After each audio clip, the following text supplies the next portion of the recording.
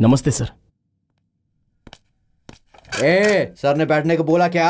Sorry sir sorry.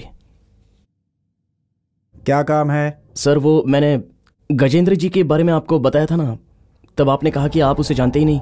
उसके बाद hospital में जाकर उन्हें देख कर आया। तो क्या हुआ? नहीं कुछ नहीं सर। अगर मैं गजेंद्र के साथ रहता तो सारी बातें सुनकर आपको पूरी की पूरी इन्फॉर्मेशन दे देता। इंसान कोई भी काम करे लेकिन अपने फ़ायदे के लिए ऐसा आप ही ने कहा था ना सर? इसलिए वैसे आप खुद ही समझदार हैं सर। जरा सोच कर देखिए।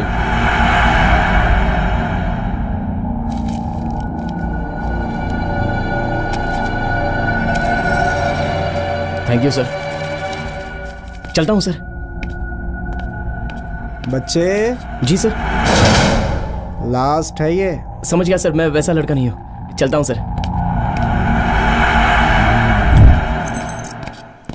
भाई मुझे सिर्फ़ दो दिन का टाइम दो भाई। माल समेत उसे आपके सामने लाऊँगा। दो दिन देने का भी टाइम नहीं है मेरे पास। अब ज़िंदगी और मौत का सवाल है। भाई भाई मुझे मेरी कसम भाई उसे छोड़ूँगा नहीं भाई। हेलो बस बस। हेलमेट पहन के रखे हो। तुम्हें दिखाई नहीं दे रहा है? हेलमेट के ऊपर गिलास है उससे नीचे के गिरे हुआ पैसा दिखाई नहीं दे रहा है? एक बार गुम हो जाने पे दोबारा नहीं मिलता। याद रखना।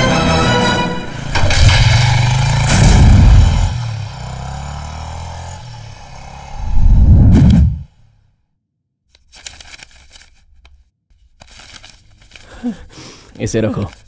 शक्ति के यहाँ डाका डालते समय ये बहुत काम आएँगे। यार तू इतना सारा पैसा लेके? कहाँ से लाया यार? तेरी नानी की सास हाँ? शक्ति बेल ने दिया है। क्या?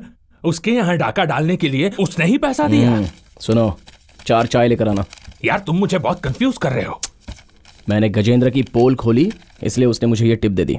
देखा जानी एक इंफॉर्मेशन के बदले इतने सारे नोट सच कहा है किसी ने?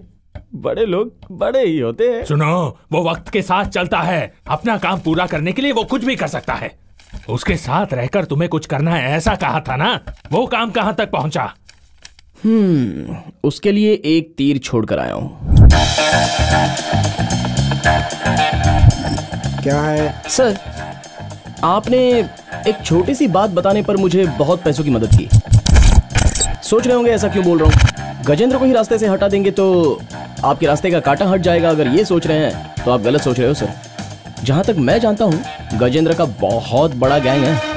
उस गैंग में कौन कौन है, इस बात का पता लगाने से पहले वो लोग आपका स्केच बनाकर अपना ही खेल खेल कर निकल सकते हैं। खैर, छोड़िए सर। बड़े लोगों की बड़ी बातें। यहाँ आकर डाका भी डाला जाए तो वो बाहर नहीं जा सकते हैं। बिल बहुत ही छोटा जो है। आगे आप समझदार हैं, सर। चलता हूँ।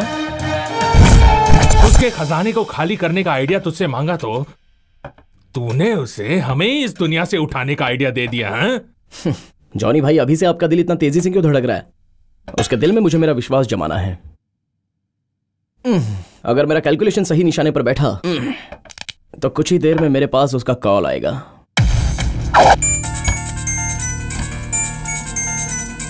वर्कआउट हो गया। शक्ति बेल तू जल्दी नहीं मरेगा समझा? हेलो बच्चे। कौन?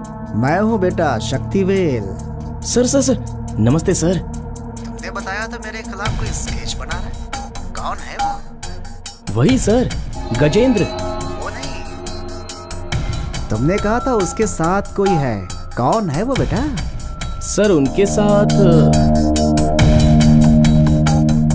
पूरी टीम है सर। मुझे उनमें से किसी का नाम नहीं पता है। लेकिन आप कहो तो मैं पता लगा कर बताता हूँ आपको। तुम एक काम करोगे?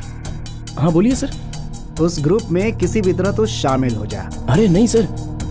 दरअसल मुझे बहुत डर लगता है सर।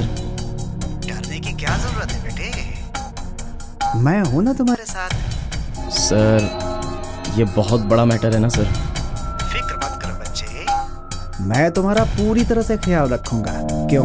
मुझ पर विश्वास नहीं है क्या? जी है ना सर। आप कह रहे हैं इसलिए हाँ कह देता हूँ। करो। काम उनके साथ करो और वफादार मेरा बनकर रहो।